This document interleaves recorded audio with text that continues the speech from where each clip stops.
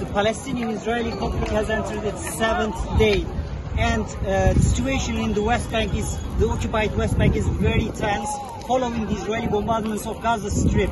Here, right now, we are at the entrance of Ramallah city at the heart of occupied West Bank. Palestinians here are confronting Israeli forces who are just meters away from us here. Sometimes we are hearing live bullets being thrown towards the Palestinian protesters. Just now, minutes ago, Israeli uh, Palestinian emergency services and ambulances carried uh, some injured youth from the Palestinian uh, Palestinian side, Palestinian protesters.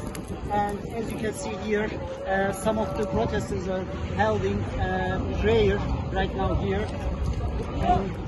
The situation in the West Bank is very, very tense. Across the West Bank is very tense, and uh, there, there, there, there are fears of uh, rising casualties among Palestinians.